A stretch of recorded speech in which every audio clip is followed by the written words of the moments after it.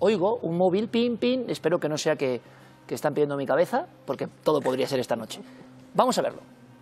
Ustedes han pedido prohibir los indultos a la corrupción, pero sin embargo iban a apoyar la amnistía a los condenados por corrupción. ¿Cómo se explica esto, señor Rejón? Le agradezco su respuesta y que garantiza la libertad de prensa, por favor. Sí, portavoz, ¿cuáles son las ¿Pero por qué no puedo preguntar?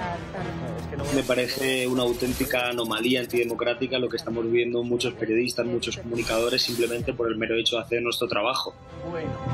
Parece ser que los que intentamos cuestionar ciertas actitudes del gobierno de España o los que hemos pillado en contradicciones al gobierno de España y les intentamos preguntar por ello a sus miembros, eh, parece ser que se nos deslegitima. A mí yo me siento personalmente deshumanizado como periodista porque ya no solo es que me llamen nazi, fascista o me desprecien de los Diputados, es que encima me, me retiran el título de periodista cuando yo, eh, pues eh, obviamente soy periodista como todos eh, los demás que están trabajando allí ¿En qué situación quedan ahora? ¿Cree que les queda credibilidad? Vemos como últimamente todos los que disentimos del discurso oficial y de lo que se dice por parte del Ejecutivo, que somos creadores de bulos, de fake news, que decimos mentiras. Yo personalmente no tengo ni una condena, ni un procedimiento judicial. Nunca he sido condenado por mentir, ni por tergiversar, ni por manipular, como muchos de los voceros mediáticos del gobierno que sí que tienen y acumulan varias condenas.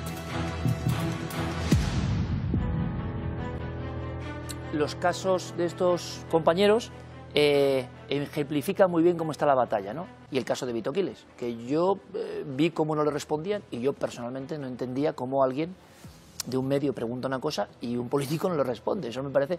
¿Es lícito o no? No lo sé. Opinen ustedes. A mí, a mí me sorprende muchísimo qué punto estamos llegando. Con el caso de Vito Quiles, que te guste más o menos, esto se le afeaba hace unos años a Vox, ¿no? que no dejaba a sus ruedas de prensa entrar a ciertos medios precisamente del grupo PRISA, al que pertenezco yo.